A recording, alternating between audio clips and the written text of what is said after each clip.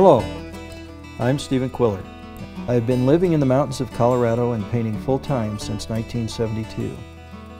I paint mainly landscapes of this region, including the mountains and meadows, rivers, streams and waterfalls, tree patterns and cliff forms.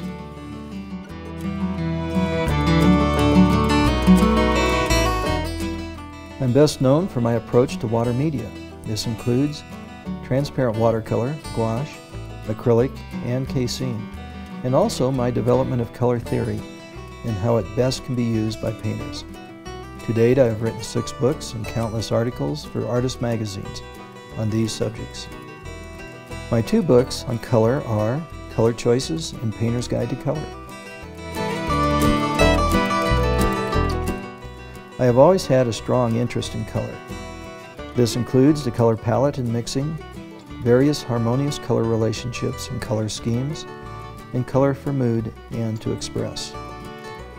When I was in school, I took a color theory class. We had a basic primary and secondary color set of tempera paint plus white and spent the semester doing color charts and mixing grays. The grays were not close and there was no connection as to how this could be used by the painter. Artists that read my books say they are visual people and get so much more once they physically see me paint and hear my voice. Then all the color choices make sense. I want to convey and document my breadth of knowledge that I've developed over the last 40 years. Keep in mind that my approach is based on close to 200 years of color theory. The concepts are not new, but I've taken it further. That is the reason this video is so important.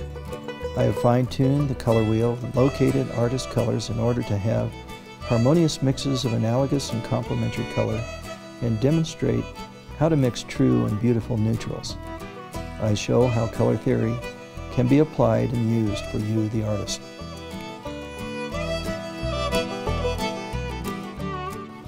Each chapter is broken down into segments. First, I will present the subject for the chapter. For instance, mixing neutrals and semi-neutrals. I will introduce the subject, show charts that explain the color scheme, and do a diagram of the color relationships. Then I will paint some studies applying the color theory.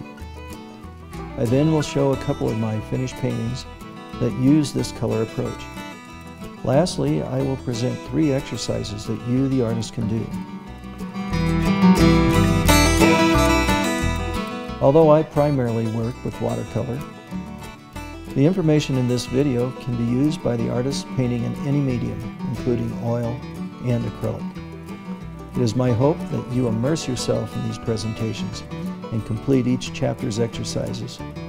And, in the process, your own color will become more personal and exciting. Good luck and let's get started.